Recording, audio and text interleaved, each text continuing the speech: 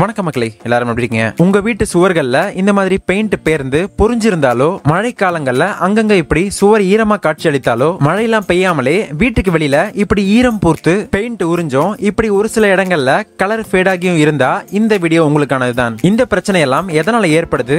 அப்படியே ஏற்பட்டுட்டா அதை எப்படி நிரந்தரமா சரி செய்யறதுன்னு ஏ டு இசட் அடுத்த அஞ்சு நிமிஷத்துல விரிவாகவும் விரைவாகவும் பார்த்து முடிச்சிடலாம். சோ வீடியோ ஸ்கிப் பண்ணாம பாருங்க அப்பதான் கண்டினியூட்டி புரியும். And நீங்க நம்ம சேனல் பேஜுக்கு புதுசா இருந்தா நான் சிவில் இன்ஜினியர் கிஷோர் குறைஞ்ச செலவுல அதிக தரமான வீடுகளை எப்படியெல்லாம் கட்ட முடியும்னு தெரிஞ்சுக்க நம்ம சேனல் சிவில் எக்ஸ்பிரஸ் சப்ஸ்கிரைப் பண்ணிக்கோங்க. இப்போ வாங்க வீடியோக்குள்ள போலாம். முதல்ல சொன்ன மாதிரி சுவர்களில் பெயிண்ட் பொறிஞ்சு வர்றதுக்கும் வீட்டுக்குள்ளரையும் வீட்டுக்கு வெளியிலையும் நீர் போர்த்து இப்படி ஓதமடிக்க முக்கிய காரணம் சுவர்ல ஏற்படுற நீர் கசிவு. மழைக்காலங்களில் வீட்டுக்கு வெளியில இருந்து உள்ள மழை தண்ணி வர்றதும் மற்ற நேரங்களில் வீட்டுக்குள்ளர டாய்லெட் கிச்சன்கள்ல இருந்து வெளியில தண்ணி போறதுக்கும் முக்கிய காரணம்னு எடுத்துக்கிட்டா மூணே விஷயம் தாங்க முதல் காரணம் புவர் குவாலிட்டி ஆஃப் மெட்டீரியல் அதாவது விலையை குறைக்கிறன்னு மெட்டீரியல் மெட்டீரியலுடைய தரத்தை குறைக்கிறது. ரெண்டாவது காரணம் புவர் குவாலிட்டி ஆஃப் லேபர் இங்க மெட்டீரியல் குவாலிட்டியா தான் இருக்கும். ஆனா அதை முறையா பயன்படுத்த தெரியாத ஆட்களை வேலைக்கு வைக்கிறது. மூணாவது காரணம் மேல சொன்ன ரெண்டு விஷயமும் தரமா தான் இருக்கும். இருந்தாலும் எப்படியோ நீர்க்கசிவு ஏற்படுதுன்னு சொல்லுவாங்க.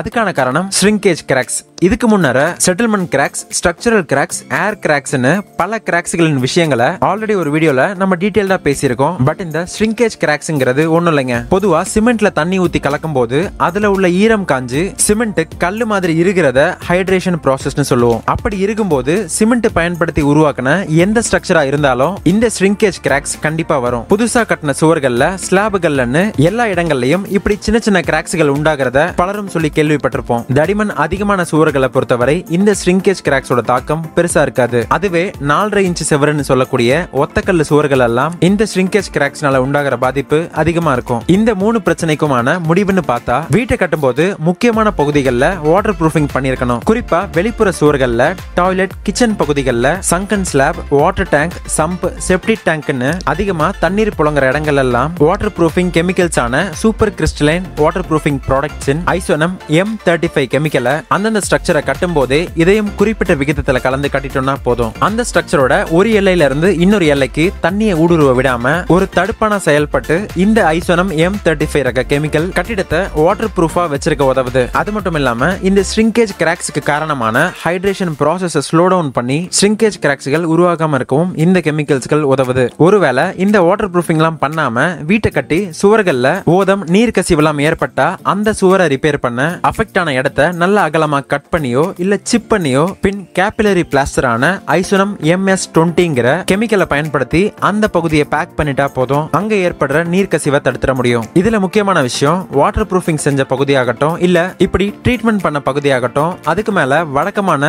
ரெகுலர் பெயிண்ட்களை பயன்படுத்துறதை விட ஐசோனம் ரக எம் எயிட்டி டூ கிரேட் பெயிண்டை பயன்படுத்துறது மூலயமா அந்த சுவர் கெமிக்கல் ரெசிஸ்டன்ட் ஆல்கலை ரெசிஸ்டன்டாவும் மழை நீர் மற்றும் உப்பு நீரால பாதிப்படையாதபடியும் அண்ட் சூரிய கதிர்களால நிறம் மங்காதபடி நீடிச்சு உடைக்கும்னு கூறப்படுது. நம்ம இதுவரைக்கும் பார்த்த இந்த மூணு கெமிக்கல்ஸும் இருந்தா போதும். நீர்க்கசிவு மாதிரியான தப்பு நடக்காமலும் ஒருவேளை நடந்தா அதை நிரந்தரமா சரி செய்யவும் முடியும். மற்ற பிராண்ட்ஸ்களோட இந்த கெமிக்கல்ஸை கம்பேர் பண்ணி பார்த்தா இந்த ஐசோனம் வகை கெமிக்கல்ஸ்கள் எந்த ஒரு பரப்பலையும் கடினமா ஒட்டக்கூடியது. எந்த ஒரு ஹெவி மெட்டல்ஸும் பில்லர்ஸ்களும் இல்லாதபடி உருவாக்கப்படுறதால மனிதனுக்கும் இயற்கைக்கும் பாதுகாப்பானது. எந்தெந்த கெமிக்கலை எவ்வளவு எவ்வளவு பயன்படுத்தணும் அதன் யூசர் மேனுவல் கண்டிஷன்ஸ்னு அதோட பேக்கிங்லயே உங்களுக்கு கிடைச்சிரும். இதன் விலை பல வரம்புகள்ல லொகேஷன் குவாண்டிட்டி சைஸ் பேக்கிங் டிரான்ஸ்போர்டேஷன்ஸ்கள் காரணமா மாறுபடுது. சப்ளையர் தரப்புல இருந்து நமக்கு சொன்னது பர்ச்சேசிங் குவாண்டிட்டி அதிகமா இருக்கிற பட்சம் ரெகுலரான விலையில இருந்து நாற்பது சதவீதம் வரை டிஸ்கவுண்ட் கொடுக்கப்படும். இவங்களை கான்டாக்ட் பண்ணணும்னு நினைக்கிறவங்க டிஸ்கிரிப்ஷன்ல டீடைல்ஸ் கொடுத்துருக்கேன். தேவைப்படுறவங்க யூஸ் பண்ணிக்கோங்க. அடுத்த நான் இன்ஃபர்மேட்டிவான வீடியோ மீட் பண்றேன். நான் சுழிஞ்சர் கிஷோர் தேங்க்ஸ் ஃபார் வாட்சிங்